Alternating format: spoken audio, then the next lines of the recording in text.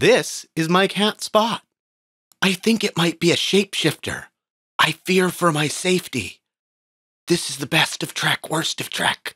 I'm your host, Dustin Wing.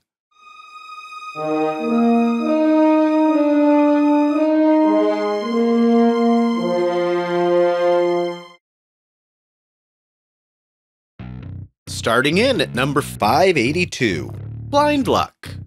Or, Is there in truth no beauty?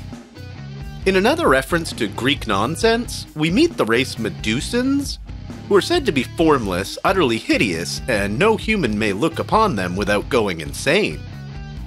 Diana Muldaur returns as a human, able to be around a Medusan ambassador when it's beamed on board to be transported back to its home planet. A lover of Miranda, Kollos, also comes on board to badly recite cliche soap opera lines. He is so jealous that she will be leaving him when she goes to the Medusan planet. He tries to kill the ambassador, but looks at it and ends up going insane. We find out after that Miranda is blind and therefore immune to the creature's insanity, and her dress has special sensors that allow her to sense her surroundings, similar to Geordi's visor. By the end, Spock mind melds with the Medusan, because he'll mind meld with a toaster if you let him. Honestly, this one starts out interesting and devolves into cringeworthy nonsense with each passing minute. I've got a lot of questions, but the only one I'll pose is why does Kirk mansplain blindness to Spock in front of a blind woman that Spock directly asked his question to? Buying some melons at 581, Dream Police, or Random Thoughts. While on a planet trading for supplies, a series of violent actions and murders occur. Neelix is feeling a little rusty since Kes, and uses the euphemism wanting to buy some melons, till an old woman stabs the age appropriate melons he's interested in. And the authorities blame this, and an earlier incident, on a single violent thought B'Elanna had in passing. It turns out bad thoughts are outlawed.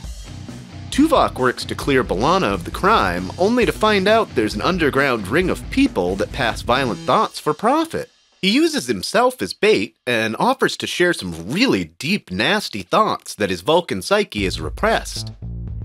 He honestly seems to be kind of getting into it, or getting off on it, or something. But turns over the group to the authorities and gets B'Elanna back. This one is really weird. I don't consider it a good or bad episode, really. But we get to see not B'Etor, the Duras sister, without a bunch of Klingon makeup. Being overtired at 580. Wesley and the Nanites. Or Evolution. Wesley's science project of reprogrammed medical nanites gets loose when he accidentally falls asleep. They get into the ship's computer core and start eating it. The Enterprise has a scientist on board prepping for his magnum opus experiment. When it looks like Wesley's mistake might put his life's work in jeopardy, he irradiates a section of the computer core to wipe out the nanites. It turns out these microbots have become sentient and respond in several ways, including trying to kill the scientist. Picard figures out a way to make contact with them and agrees to help settle them somewhere if they stop their negative effects on the ship. After an apology by the scientist, they even assist in getting his mission back on track so his life's work isn't in vain. Boldly going where they shouldn't at 579, Doctor needs a doctor. Or the Swarm. Tom and B'Elanna in a shuttle are attacked by random aliens, and only now does Neelix advise Janeway that the space they're entering is populated by people that don't let anyone leave alive. It would take 15 months to go around, but Janeway's like, to hell with the regulations, and goes ahead anyway. When the doctor is about to perform brain surgery, he realizes he doesn't know how to perform brain surgery. Apparently, his unplanned extended runtime and tinkering with his program has caused some serious problems. They run a program made to diagnose problems with the EMH, only to later figure out that they can use the diagnostic program as an overlay to fix the doctor's damaged matrix. But now they don't have a diagnostic program anymore. It takes the doctor some time, but eventually he gets back to his old self. Meanwhile, Voyager has a serious problem when they detect thousands of tiny ships headed toward them. They start latching onto the hull before the crew come up with a defense and get away just in the nick of time. Kes is actually decent in this one, and she should be more demanding and assertive more often. If you do not like and subscribe, this shapeshifter will likely absorb me and take over my life. Being annoyed at 578. Overbearing ambassadors. Or liaisons. A cultural exchange takes place when two ambassadors come to the Enterprise to learn about Federation culture, and Picard is to return with a third on their shuttle to visit their home planet. The shuttle takes a turn for the worse and crashes on a random planet, seemingly killing the pilot. Picard finds another crash ship with a woman that's supposedly been alone for years. She pushes his buttons and tries to keep him there, even though he does everything to try and get off the hellscape of a planet. By the end, it's revealed it's really the male pilot taking the form of this woman to learn about love through stressful situations? Or something? Back on the Enterprise, Worf is assigned an ambassador that's purposely trying to make him upset until he's had enough and hits him at the poker table. Deanna has to deal with one that wants constant pleasure and finally meets her limits of chocolate. This episode tries to have a message about acceptance and differences of culture, but it gets severely bogged down by Season 7 hokiness. Birthing Bugs at 577, Mama Archer, or Hatchery. Enterprise comes upon a crashed Xindi insectoid ship. They find the crew dead, but a hatchery of unborn baby insectoids? Archer has some goo sprayed on him while in the hatchery and doesn't realize for the rest of the episode it's affecting his judgment. He orders the babies to be protected at all costs, including transferring a sizable chunk of Enterprise's antimatter to get the ship's reactor going again. When another insectoid ship comes, Reed destroys it, and Archer relieves them of duty because they could have been on their way when the hatchlings were rescued. Archer ends up having to relieve T'Pol also when she won't transfer the antimatter and leaves Major Hayes in command while he plays Mama, even though it's way out of the Major's scope of training. Eventually, Reed, T'Pol, and Trip go full mutiny and get into a Tarantino style fight and standoff on the bridge. It's kind of reminiscent of the end of the TNG episode Conspiracy. Once they take control of the bridge, they then go and stun the captain, retrieve their antimatter, and get the captain treated. Even though Archer was under the influence of the insectoid goo, he makes a few good points I think he would have made anyway. He can't make the crew understand that he's trying to prove to the Xindi that humans aren't the threat they perceive, and saving a ship full of younglings could have gone a long way.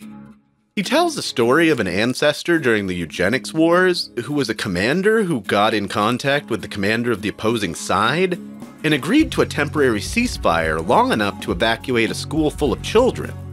And even in war, there are rules and responsibilities.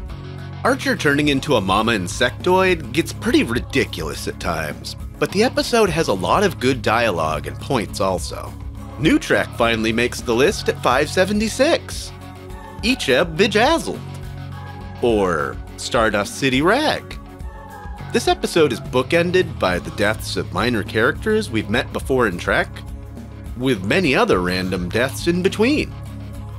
First off, Voyager's Icheb is having his Borg implants removed to be sold for profit with no anesthesia, when Seven finds him too late and can only put him out of his misery. His death is only to lend emotional weight to Seven's character going full vigilante. Later, the La Sirena crew dress up as cartoon villain stereotypes in order to broker a deal in the Star Wars Tatooine Cantina for Measure of a Man's Bruce Maddox. Picard does an overacted French stereotype and comes off as Pepe Le Pew.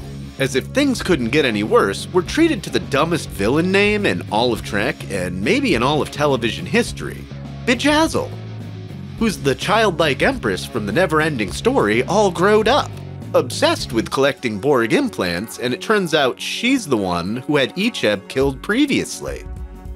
The crew uses Seven as bait to try and trade for Maddox before they realize she's double crossed them and she's really on a personal mission to kill Bjayzl. They escape her, but Seven goes back and wipes her out and her guards.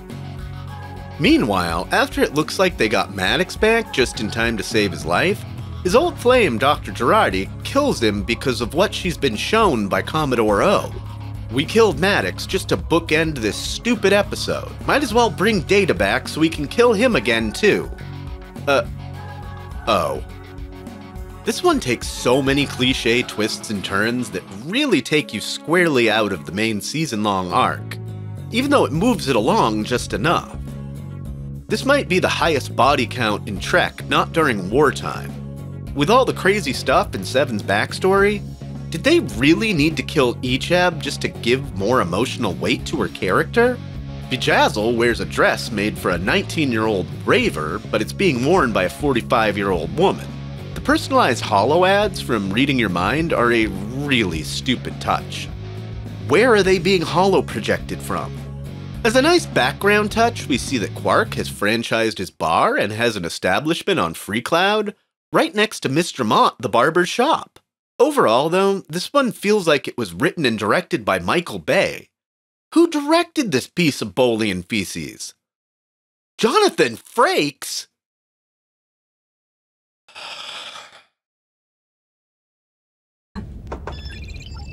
Computer. That program is available. Thanks, Majel. Majel, Majel. Thanks, Majel. Majel, Majel.